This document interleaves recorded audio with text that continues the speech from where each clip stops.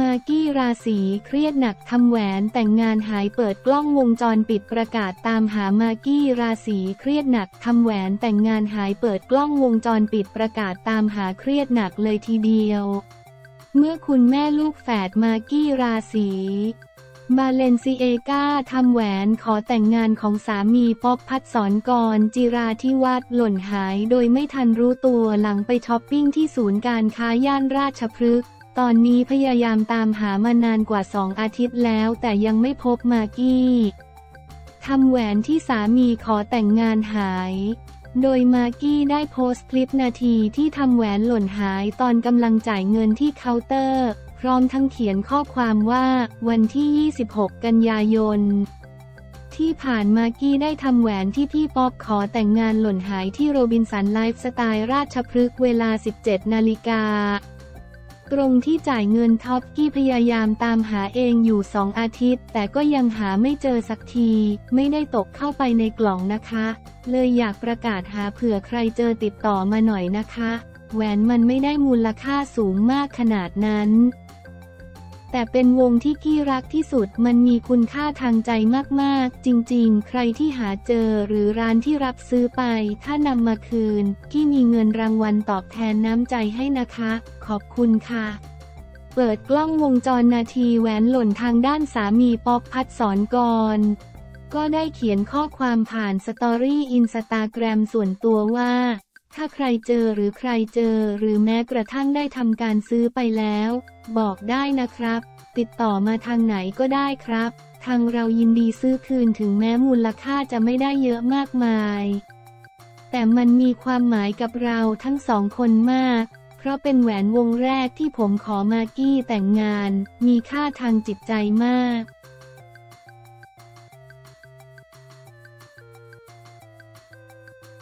วีหลุดเคลียร์ดราม่ากลาง4 Queens คอนเสิร์ต ส้มลั่นแรงโบกี้ไลออนแรงกว่าหลังดราม่าระอุโบกูเลี่ยนวีหลุดเคลียร์ดราม่ากลางคอนเสิร์ต4 Queens คอนเสิร์ต ส้มลั่นแรงโบกี้ไลออนแรงกว่าจากกรณีแฮชแท็ก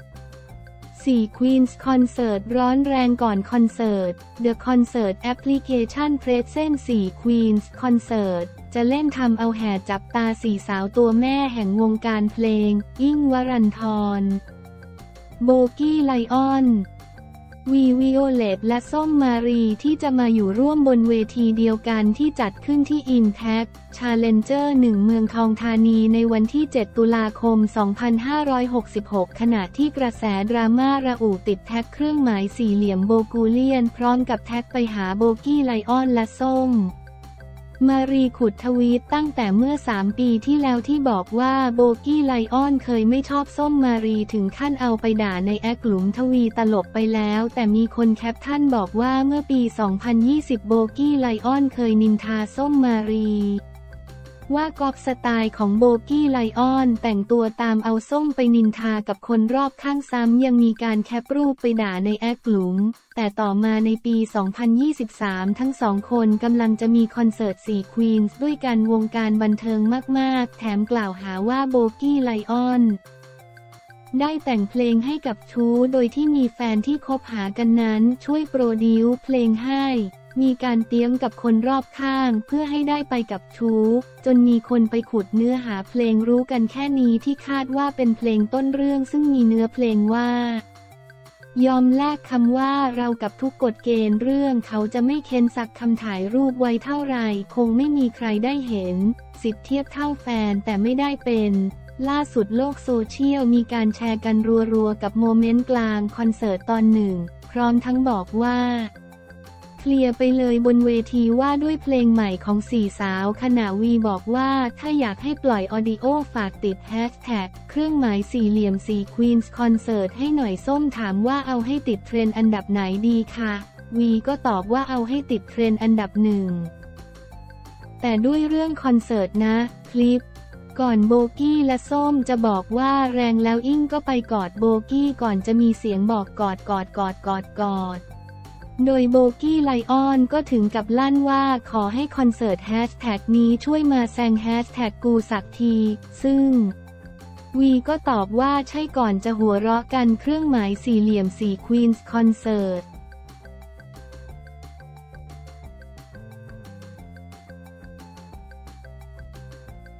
ก้าวไกลวันดิจิทัลวอลเล็ตสร้างภาระคลังจี้ รัฐบาลตอบกระตุ้นเศรษฐกิจได้จริงหรือก้าวไกล ชี้แทบเป็นไปไม่ได้นโยบายดิจิทัลวอลเล็ตสร้างพายุหมุนทางเศรษฐกิจหวันสร้างภาระทางการคลังจี้รัฐบาลตอบกระตุ้นเศรษฐกิจได้จริงหรือเมื่อวันที่ 8 ตุลาคม 2566 นายปกรณ์วุฒิปุดมพิพัฒน์สกุล สส บัญชีรายชื่อพักก้าวไกลให้สัมภาษณ์กรณีอดีตผู้ว่าการธนาคารแห่งประเทศไทย และนักวิชาการคัดค้านนโยบายแจกเงินดิจิทัลวอลเล็ต 10,000 บาทว่าเป็นสิทธิเสรีภาพของประชาชนที่มองเห็นผลกระทบบางอย่างที่พวกเขาไม่เห็นด้วย ซึ่งเป็นเรื่องปกติ เพราะในรัฐบาลหลาย ๆ ชุดที่ผ่านมาก็มีให้เห็นกัน การที่มีคนกลุ่มใดกลุ่มหนึ่งออกมาคัดค้านนั้นก็เป็นหน้าที่ของรัฐบาลที่ต้องตอบรับด้วยเหตุและผล เมื่อถามถึงตัวอย่างผลเสียที่จะตามมา หากรัฐบาลเดินหน้านโยบายต่อไป โดยไม่คำนึงเสียงคัดค้าน นายปากรวุฒิ กล่าวว่าหากยกตามเหตุผลทางเศรษฐศาสตร์สิ่งที่หลายฝ่ายกังวล คือผลในการกระตุ้นเศรษฐกิจที่รัฐบาลอ้างว่า นโยบายเงินดิจิทัลวอลเล็ตจะเป็นพายุหมุนทางเศรษฐกิจที่จะสร้างตัวคูณทางเศรษฐกิจกว่า 2.7 เท่า ซึ่งความเป็นจริงแทบเป็นไปไม่ได้ไม่เคยมีนโยบายทางเศรษฐกิจใด จะทำตัวคูณทางเศรษฐกิจได้สูงขนาดนี้ แม้จะเป็นในช่วงวิกฤตก็ตามการใช้นโยบายเช่นนี้เป็นนโยบายที่สร้างตัวคูณทางเศรษฐกิจต่ำที่สุด หากผลที่ออกมาไม่ดีเท่ากับที่คาดไว้ ผลที่ตามมาคือการใช้เม็ดเงินจำนวนมหาศาลเช่นนี้จะเป็นการสร้างภาระทางการคลังได้ในอนาคตรัฐบาลต้องตอบคำถามให้ได้ว่าที่เคยระบุว่าสามารถกระตุ้นเศรษฐกิจได้ขนาดนั้นจริงหรือ และหากไม่ได้ผลที่ตามมาจะแก้ไขอย่างไร นายปกรณ์วุฒิกล่าว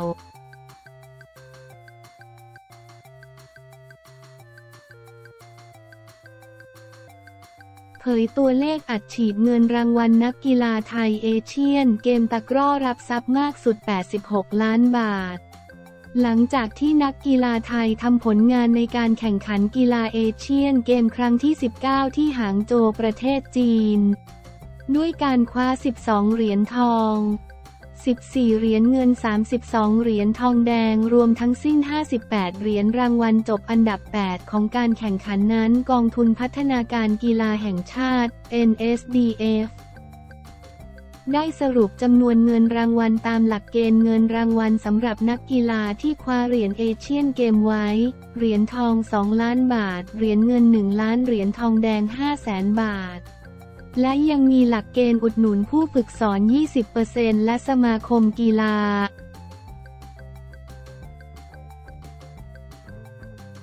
ต้นสังกัดอีก 30%ของเงินรางวัลที่นักกีฬาได้รับ เสร็จสิ้นเรียบร้อยแล้วสมาคมกีฬาที่ได้รับเหรียญรางวัลมีจำนวน 22 สมาคมนักกีฬา 157 คน เงินรางวัลรวมทั้งสิ้น 244 ล้าน2แสนบาทจำแนกเป็น เงินรางวัลนักกีฬา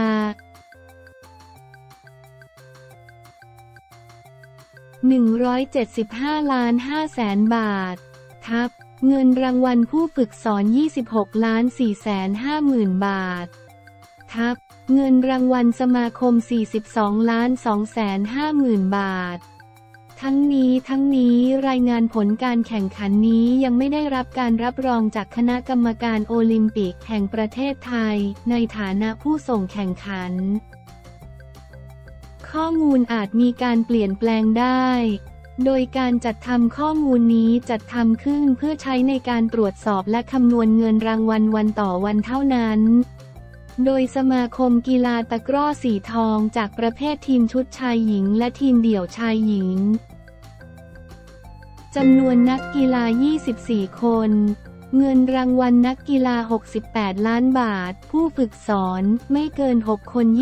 20%จำนวน 4 ล้านบาท ผู้ฝึกสอน 7 คนขึ้นไป 10%จำนวน 4 ล้าน8แสนบาท สมาคมกีฬา 30%จำนวน 10 ล้านบาท ยอดรวมทั้งสิ้น86 ล้าน8แสนบาท สมาคมกีฬาเรือพาย 2 เงิน 4 ทองแดง จำนวนนักกีฬา 33 คน เงินรางวัลนักกีฬา 31 ล้าน5แสนบาท ผู้ฝึกสอนไม่เกิน 6 คน 20%จำนวน 7 แสนบาท ผู้ฝึกสอน 7 คนขึ้นไป 10%จำนวน 2 ล้าน8แสนบาทสมาคมกีฬา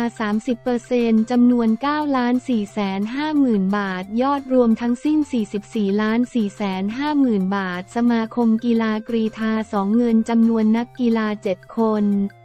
เงินรางวัลนักกีฬา 7 ล้านบาท ผู้ฝึกสอน ไม่เกิน 6 คน 20%จำนวน1ล้าน4แสนบาท สมาคมกีฬา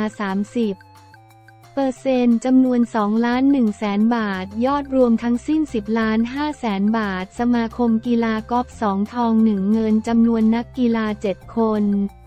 เงินรางวัลนักกีฬา 12 ล้านบาท ผู้ฝึกสอนไม่เกิน 6 คน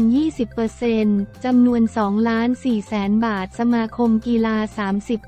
30%จำนวน 3 ล้าน6แสนบาท ยอดรวมทั้งสิ้น 18 ล้านบาท สมาคมกีฬาแข่งเรือใบ 2 ทอง 1 เงิน 1 ทองแดง จำนวนนักกีฬา 4 คน เงินรางวัลนักกีฬา5ล้าน5แสนบาท ผู้ฝึกสอนไม่เกิน 6 คน 20%จำนวน1ล้าน1แสนบาท สมาคมกีฬา 30%จำนวน1ล้าน6แสน5หมื่นบาท ยอดรวมทั้งสิ้น8ล้าน2แสน5หมื่นบาท สมาคมกีฬาคาราเต้ 2 ทองแดงจำนวนนักกีฬา 2 คน เงินรางวัลนักกีฬา 1 ล้านบาท ผู้ฝึกสอนไม่เกิน 6 คน 20%จำนวน 200,000 บาทสมาคมกีฬา 30%จำนวน 300,000 บาท ยอดรวมทั้งสิ้น1ล้าน5แสนบาท สมาคมกีฬาจักรยาน 1 เงิน 1 ทองแดงจำนวนนักกีฬา 2 คน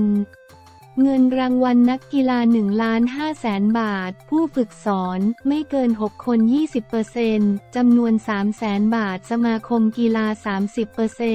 30%จำนวน 450,000 บาท ยอดรวมทั้งสิ้น 2 ล้าน 250,000 บาท สมาคมกีฬาคูราช 2 ทองแดง จำนวนนักกีฬา 2 คน เงินรางวัลนักกีฬา 1 ล้านบาท ผู้ฝึกสอนไม่เกิน 6 คน 20%จำนวน 200,000 บาท สมาคมกีฬา 30%จำนวน 300,000 บาทยอดรวมทั้งสิ้น1ล้าน5แสนบาท สมาคมกีฬาขี่ม้า 1 เงิน 1 ทองแดงจำนวนนักกีฬา 4 คน เงินรางวัลนักกีฬา 3 ล้านบาท ผู้ฝึกสอนไม่เกิน 6 คน 20%จำนวน6แสนบาท สมาคมกีฬา 30%จำนวน9แสนบาท ยอดรวมทั้งสิ้น 4 ล้าน5แสนบาท สมาคมกีฬาเทควันโด 2 ทอง 2 ทองแดงจำนวนนักกีฬา 4 คน เงินรางวัลนักกีฬา 5 ล้านบาท ผู้ฝึกสอนไม่เกิน 6 คน 20%จำนวน 1 ล้านบาท สมาคมกีฬา 30%จำนวน 1 ล้าน5แสนบาท ยอดรวมทั้งสิ้น7ล้าน5แสนบาท สมาคมกีฬาลอนเทนนิส 1 ทองแดงจำนวนนักกีฬา 2 คน เงินรางวัลนักกีฬา 1 ล้านบาท ผู้ฝึกสอน ไม่เกิน 6 คน 20%จำนวน 200,000 บาท สมาคมกีฬา 30%จำนวน 300,000 บาท ยอดรวมทั้งสิ้น1ล้าน5แสนบาท สมาคมกีฬาเทเบิลเทนนิสจำนวนนักกีฬา 5 คน เงินรางวัลนักกีฬา2ล้าน5แสนบาท ผู้ฝึกสอนไม่เกิน 6 คน 20%จำนวน 5 แสนบาท สมาคมกีฬา 30%จำนวน750,000บาท ยอดรวมทั้งสิ้น3ล้าน7แสน50,000บาท สมาคมกีฬาบริดหนึ่งทองแดงจำนวนนักกีฬา 6 คน เงินรางวัลนักกีฬา 3 ล้านบาท ผู้ฝึกสอนไม่เกิน 6 คน 20%จำนวน6แสนบาท สมาคมกีฬา 30%จำนวน9แสนบาท ยอดรวมทั้งสิ้น 4 ล้าน5แสนบาท สมาคมกีฬาแบดมินตันหนึ่งทองแดงจำนวนนักกีฬา 9 คน เงินรางวัลนักกีฬา 4 ล้าน5แสนบาท ผู้ฝึกสอน 7 คนขึ้นไป 10%จำนวน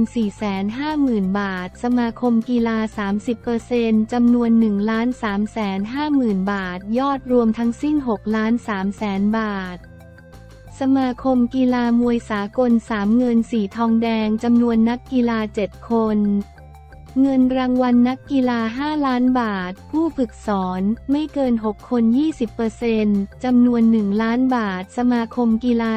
30%จำนวน1ล้าน5แสนบาท ยอดรวมทั้งสิ้น7ล้าน5แสนบาท